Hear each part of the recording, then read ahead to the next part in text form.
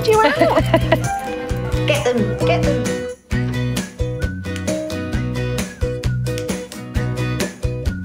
Literally after a treat or two, he's your best friend.